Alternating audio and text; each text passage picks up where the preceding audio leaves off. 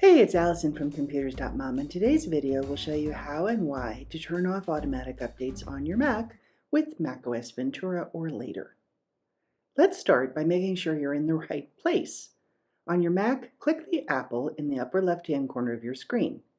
If you see System Settings, then your operating system is macOS Ventura or later and you're watching the right video.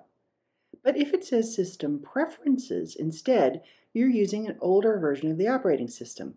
We have a different video for that. Use the link above to access that video instead of this one. The operating system, by the way, is the basic software that makes your computer function. And Apple typically releases a major new version for free every year in the fall. You'll get some new features, but you'll also get the most up-to-date security. Like changing the oil in a gas-powered car, it's basic maintenance to keep your computer running properly. You can see your current version of the operating system by choosing About this Mac on the Apple menu. This computer is running macOS Ventura version 13, and the numbers after the 13 are smaller updates to the operating system called patches that Apple issues as needed to address security flaws and correct problems. So if it's important to keep your operating system up to date, why then would you turn off automatic updates? Because software is never perfect. No matter how much testing Apple does, updates always incur a small amount of risk. So you do want to update your software promptly, but you don't have to do it immediately when the update is available. Experts recommend that you wait a few weeks until any bugs emerge. Apple will correct them quickly with a patch. Wait for that first patch or a few weeks and update when it's convenient for you.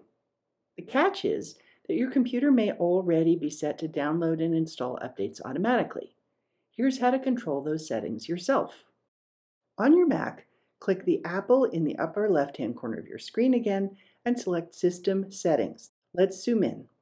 In the navigation bar on the left side of the System Settings window, select General, and then on the right-hand side, select Software Update. You'll see the current automatic update setting right here. To change it, click the little I in the circle, which is the Get Info button. Each fall, right before the operating system comes out, I make sure to turn off Install macOS updates for a few weeks until any major bugs have appeared and been corrected. Changes here must be confirmed with Touch ID or your Mac password. I like to leave on Check for Updates so that I get notified when updates are available and I always leave on install security responses and system files because those are urgent updates that help keep you safe. Before any update is installed, it has to be downloaded, that is, delivered to your computer.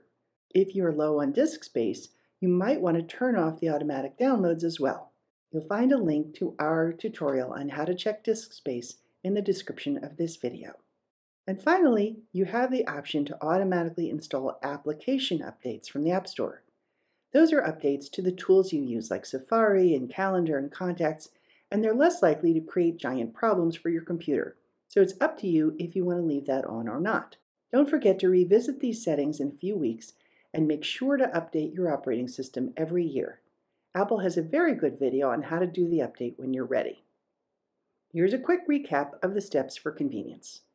To control your Mac's update settings, click the Apple menu and choose System Settings.